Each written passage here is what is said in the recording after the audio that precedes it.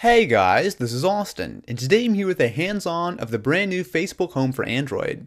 It's very easy to install. All you need to do is make sure you have the most recent versions of the Facebook app and the Facebook Messenger app downloaded. Then you can install Facebook Home straight from the Play Store. However, I will mention it's only officially working on a few phones right now, including the Galaxy S3, Note 2, HTC One X, and only in the US.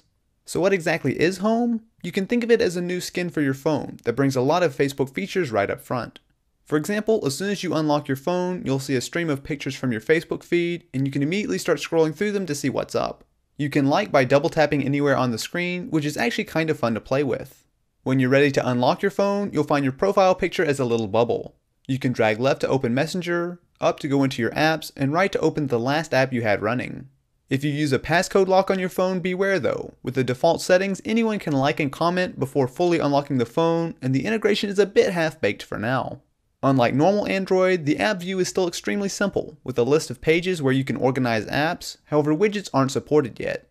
Above is a quick menu where you can update your status along with snapping a picture to be uploaded to Facebook, and scrolling over to the left brings you to a list of your apps.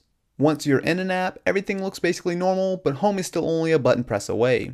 Surprisingly, one of my favorite features of Home is chat heads. These are little notifications that will pop up and allow you to hop in and reply to a Facebook message or normal SMS and then go back to whatever you're doing without ever leaving the app.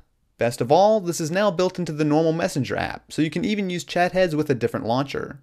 So what do you guys think of Facebook Home? Right now it's a bit basic, but chat heads alone makes it worth the download for me, but definitely be sure to let me know what you think in the comments below.